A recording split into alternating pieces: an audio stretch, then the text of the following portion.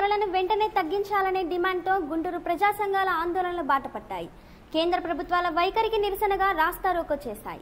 CPI నేతలు చేసిన ఆందోళన కార్యక్రమంలో దాదాపు గంట పాటు ట్రాఫిక్ స్తంభించింది. గుంటూరులోని ప్రధాన కూడలిగా ఉన్న శంకర్ విలాస్ సెంటర్లో ఈ ఆందోళన కార్యక్రమం సాగింది.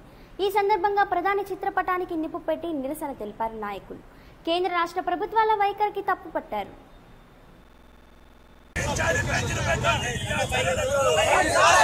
తగ్గించాలి పెంచిన పెట్రోల్ డీజిల్ గ్యాస్ ధరలను తగ్గించాలి పెంచిన పెట్రోల్ డీజిల్ గ్యాస్ ధరలను We want justice. ఇదే మీ రాజ్యం ఇదే మీ రాజ్యం ఇదే మీ రాజ్యం ఇదే మీ రాజ్యం ఇదే మీ రాజ్యం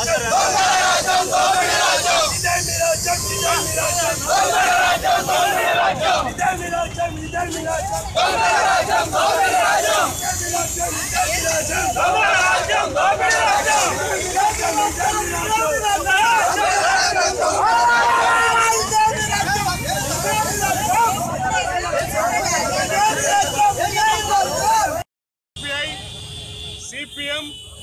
జనసేన ఎస్యుసిఐ అలాగే మిగతా అనేక ప్రజా సంఘాలు స్వచ్ఛంద సంస్థలు ఆటో సంఘాలు మైక్ మైక్ పట్టు లారీ ఓనర్లు ఛాంబర్ ఆఫ్ కామర్స్ ఇలా అనేక మంది భాగస్వామ్యంతో భారీ రాస్తారోకో కార్యక్రమాల్ని నిర్వహిస్తా ఉన్నాం. నరహంతక నరేంద్ర మోడీ అధికారంలోకి వచ్చిన తర్వాత ఇప్పటికీ లెక్కలేనన్ని సార్లు పెట్రోల్ డీజిల్ గ్యాస్ ధరలు పెంచినందువల్ల భారతదేశ ఆర్థిక వ్యవస్థ చిన్నాభిన్నమైపోయింది. దేశంలో పేద మధ్యతరగతి అట్టడుగు వర్గాల ప్రజల యొక్క ఆర్థిక స్థితిగతులు రోజు రోజుకి దారుణంగా పడిపోతా ఉన్నాయి. కొనబోతే కొడివి కొరివి అమ్మబోతే అడివి అన్నట్టుగా ఉన్నది. ఆటో వాళ్ళ దగ్గర నుంచి రైతాంగం వరకు అల్లాడిపోతూ ఉన్నటువంటి నేపథ్యం చూస్తా ఉన్నాం. అందువల్ల ఇవాళ దేశవ్యాప్తంగా నరేంద్ర మోడీ వ్యతిరేక ఎన్డీఏ వ్యతిరేక ఉద్యమాలు మిన్నుముడుతా ఉన్నాయి. ఐదారు రాష్ట్రాల్లో రైతాంగం యావత్తు సమ్మె చేస్తూ ఉన్నారు. అలాగే అన్ని రంగాలకు సంబంధించినటువంటి వాళ్ళు ఆయా రాష్ట్రాల్లో భారీ సంఖ్యలో ఉద్యమాలు నిర్వహిస్తూ ఉన్నారు.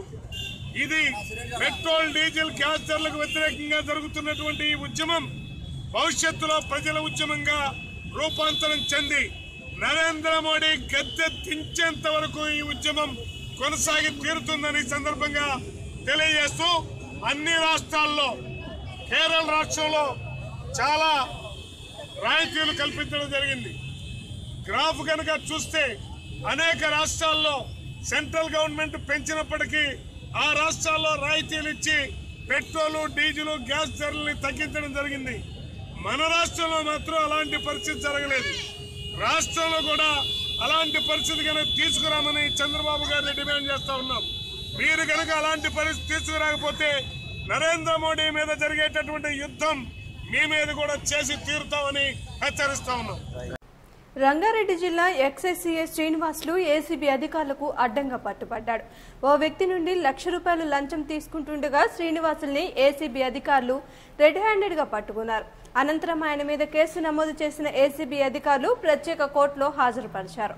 ప్రభుత్వ అధికారులు లంచం అడిగితే ఏసీబీని ధైర్యంగా ఆశ్రయించాలని అధికారులు కోరారు.